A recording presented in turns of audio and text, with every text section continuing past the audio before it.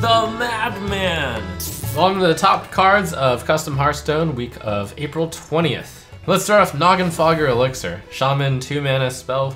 Echo. Transform an enemy minion into one that costs one less. Design 2 stars, balance 3 stars. Devolve hits all of the enemy minions and makes them cost one less. Noggenfogger Elixir hits one, so I feel like the card is quite a bit weaker right now. The problem with any card with Echo, though, is if you buff it by one mana, then you're kind of, you know, you can suddenly cast 10 copies of it instead of 5 copies. So buffing a card with Echo is very hard to do. Here's some interesting ideas. Uh, maybe this card could cost a 0 mana, then it would be similar to Mutate.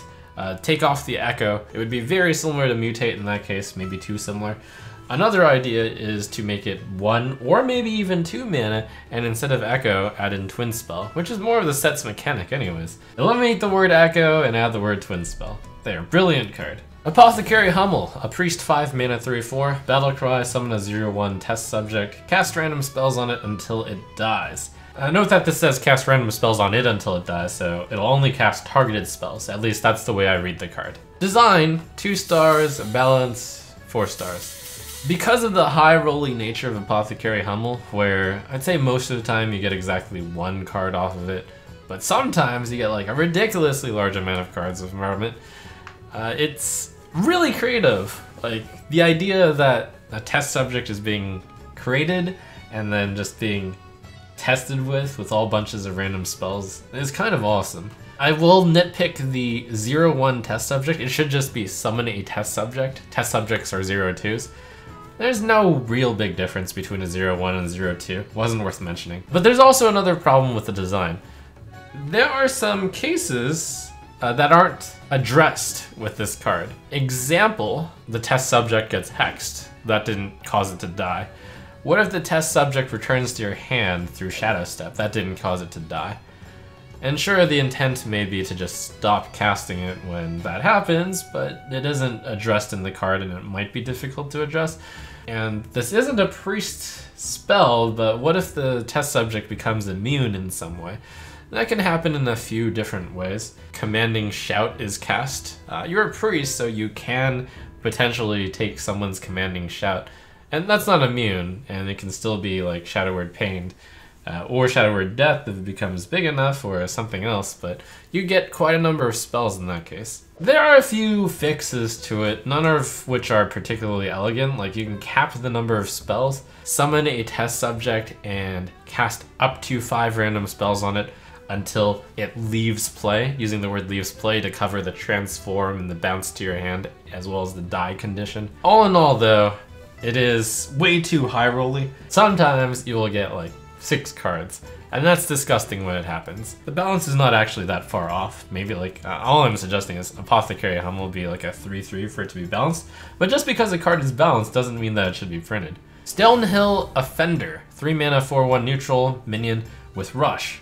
Battlecry, discover a Rush minion. Very aggressive looking turtle. Uh, design, 4 stars, balance, 3 stars. I enjoy the remix on a beloved card of Stonehill Defender, but it's way too overpowered. 3 mana deal 4 is Shadow Bolt, essentially, from Warlock, and certainly not every class can do 3 mana deal 4. Not only is it 3 mana deal 4, you also get a card with it. It's such a stronger Shadow Bolt since it comes with a card, that it does need to get nerfed. Uh, my suggested nerf is 4 mana, and not just that, but it also should be a 4 mana 3-1. Still too powerful at a 4 mana 4-1. And yes, this does ruin the mirror synergy of Stonehill Defender, but this card was never going to be balanced if you just mirrored Stonehill Defender. Am I bluffing? Choose to play either a double or nothing secret. Double is when your opponent casts a spell, it casts twice. At the start of your turn, this switches sides, so if it didn't trigger, then the opponent gets the double. Or nothing! Uh, secret, when your opponent casts a spell, counter it at the start of your turn, destroy this. Which is a one-turn counter spell. If your opponent casts a spell, it gets countered. If they don't cast a spell, then they successfully read your Am I Bluffing card, and the nothing goes away. This basically is reading as choose one, play either a double or nothing secret. But You know, I feel like this mechanic is very roguish, where you're playing hidden stuff. Is it okay that it's kind of bleeding from the druid flavor tree? Yes, I would say. It's very interesting. It's either a counterspell for a turn, or it's a double your spell if they chose not to try to pursue the double reward. Design 5 stars, balance 5 stars. Unfortunately, weak right now, but still I'm going to give the balance a 5 star because honestly, the card's pretty complex. I don't really see much of a way to change it. Most of the time, your opponent will cast a weak spell into it, and then nothing will trigger. Stonehill Apprentice. 1 mana 1 1 Taunt. Battlecry, discover a taunt minion that costs 3 or less. Another nod to Stonehill Defender on the same week. Design, 4 stars, balance, 3 stars. It's like Stonehill Defender, but changed to be a baby Stonehill Apprentice. It's kind of cute. Right now it's too powerful, and because it's a 1 mana card, the fact that I'm requesting it be a 2 mana 1 2 is still enough for me to lower the balance rating by 2. Because that's a pretty big change, uh, adding 100% mana cost for just one health, basically. Too powerful as a 1 mana 1 1, which essentially draws you a card. Just consider that it's like better Firefly, and it's like, wow, that's way too good. Malygos Enraged. 9 mana 10 6 Dragon. Neutral. All spells deal no damage. Really interesting take on the evil side of Malygos. Design, 4 stars. Balance, five stars. Huge asterisks on both ratings. So I'm really torn when I'm reviewing this card because boy is it a very, very polarizing text to just write all spells deal no damage. On the one side, this punishes decks that only have spells that deal damage, which is kind of okay because it's an archetype that Blizzard doesn't really want to see. Hearthstone at its core is minion on minion combat, and a deck that only has spells is not necessarily that healthy. Plus, the decks with all spells, such as Freeze Mage, could always run Voodoo Doll or the Polymorph that gets rid of Malygos as well. And 10 stick stat line is obviously really bad against every other deck, so honestly, nobody would run Malygos Enraged. Which goes into like another problem. Like the card is balanced in the sense that it's a tech card against spells, but it's really niche in its usage. In short, the card is really interesting, but I believe that such a card tech should probably never be printed. It's got one of those really dangerous potentials to shut down like complete decks. And then you can make the argument, well, I mean, if a card is getting shut down by this card, that's their fault, right? And to some extent, you're right. So it's like, eh, I'm torn. Magic Shield. A mage 3 mana legendary spell. For the rest of the game, your unused mana crystals are converted to armor. Let's say it's turn 6 and you cast Magic Shield and you don't do anything else. You don't use your hero power. Then you would just gain 3 armor. And then turn 7 rolls around. Maybe you skip that turn, you gain 7 armor. Design, 1 star. Balance, 1 star. Absolutely ridiculous! Where the problem lies is that when you play this in the late game, you're just gaining 10 armor each turn. You gain so much value by having the ability to wait.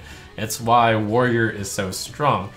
But with Magic Shield, it's kind of like if Warriors got the ability to use their basic hero power an infinite amount of times. Yes, you better believe that Warriors would just press the button five times a turn and then pass. Magic Shield is exactly the same thing.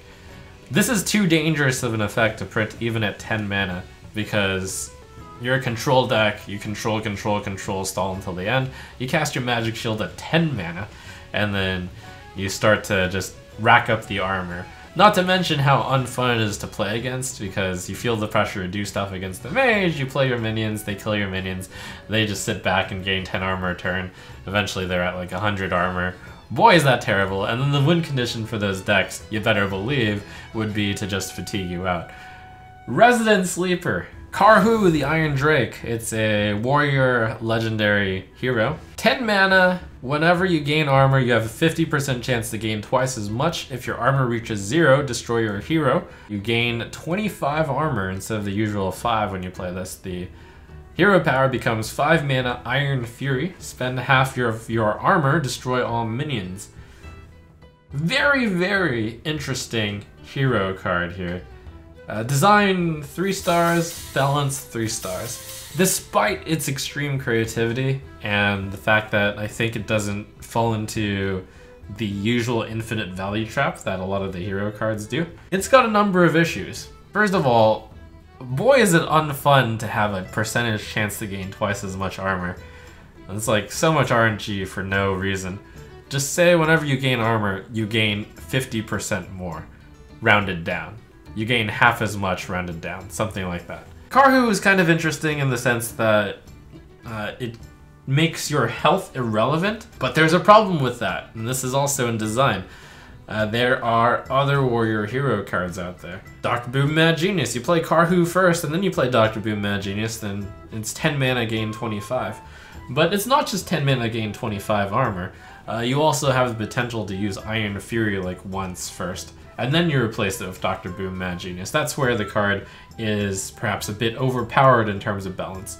And I asked myself, how much armor would I be willing to spend, uh, spend 10 mana for as a warrior?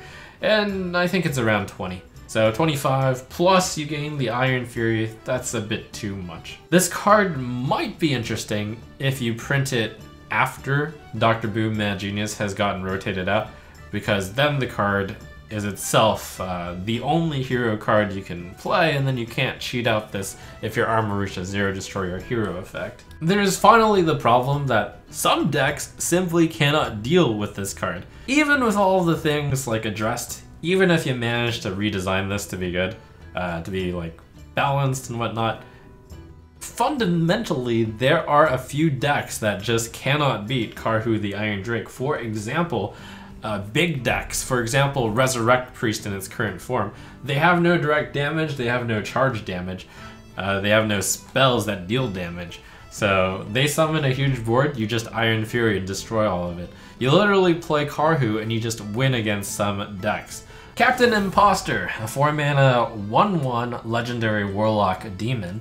Death Rattle, transform a random enemy minion into Captain Imposter. Love the uh, flavor of this. Design 5 stars. Balance 3 stars. I think the card is a simple fix.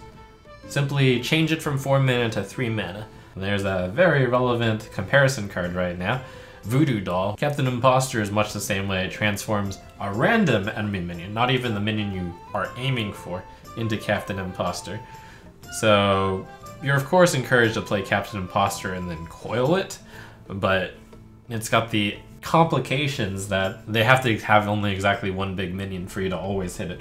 It's interesting in the sense that, you know, they become Captain Imposter, and then if you have minions, you can get your Captain Imposter back.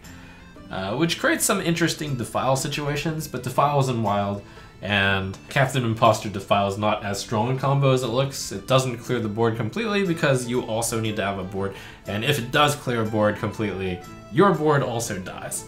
So, pretty interesting, creates like subtle plays. Realistically too slow. Finally we have Dragon Claws, a warrior weapon, 7 mana, 4 attack, 3 durability, cost 1 less for every dragon in your hand. Design 5 stars, balance 4 stars. What mana cost would be fair for Dragon Claws? And I think 5 would be a fair mana cost for a 4-3 weapon. Comparable to Arcanite Reaper, a 4-3 instead of a 5-2? Sure. So, how easy is it with the current incarnation for a two mana discount? I'd say pretty easy. You cast Dragon Roar, and you get your two dragons, then you cast Dragon Claws. So, it's a little bit too dangerous, I'd say, at 7 mana, because at 4 mana, the card is good, and at 3 mana, it's really good. I think that the card could be 8 mana instead of 7 mana. I'm a little bit too scared, but I didn't dock it 2 stars on balance because I feel like 7 mana might be fair enough. Like, maybe if you were really pushing the dragon archetype, maybe if warrior were weak, you could get away with printing this at 7 mana. And really, dragons aren't being uh, played right now in warrior, so a card to like push warrior into dragon, maybe that's not so bad. Kind of like Draconid Operative would get a pretty low balance rating from me if I saw it now, but you know, Blizzard actually printed it, Probably a bad design philosophy at the time, but Priest was really hurting. To be fair. But that's kind of my comparison with this card. It's like, could it really be printed at this amount of mana? Boy, would that be dangerous. Uh, would require a lot of testing. It would push the dragon archetype hard. So those are this week's cards. I thought this week had a lot of interesting designs in it. And the balance of the cards were all over the place, which is always fun when you have to like think about, is this card really fair? And if it is unfair, by how many margins is it unfair? And we saw like cards that varied across since I rated cards between 1 and 5 stars. So I'd say this is an interesting week to look at if you're trying to read into my mentality of, is this actually balanced?